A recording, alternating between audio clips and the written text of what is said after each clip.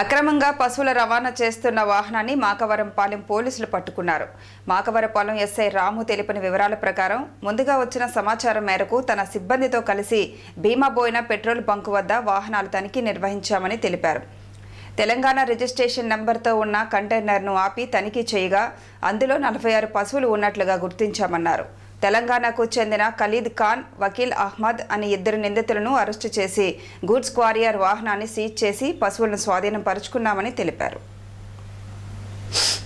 కొన్ని పశువులు తీసుకొని వస్తానని చెప్పి ఇల్లీగల్ తీసుకొస్తానని చెప్పి మాకు ఇన్ఫర్మేషన్ వచ్చింది. దానిపైన వెహికల్ చెకింగ్ చేసి ఆ వెహికల్లో ఉన్నటువంటి ఇద్దరు ఖలీల్ ఖాన్ వకీల్ అహ్మద్ అని చెప్పి ఇల్లీగల్ క్యాటిల్స్ ట్రాన్స్పోర్టేషన్తో ఒక వెహికల్ రావడం జరిగింది కంటైనర్ రావడం జరిగింది. ఆ కంటైనర్ మ్యాప్ చెక్ చేస్తే ఖలీల్ అహ్మద్ ఆ, ఖలీల్ ఖాన్ వికిల్ అహ్మద్ అని చెప్పి హైదరాబాద్ చెందినటువంటి ఇద్దరు వ్యక్తుల వెహికల్లో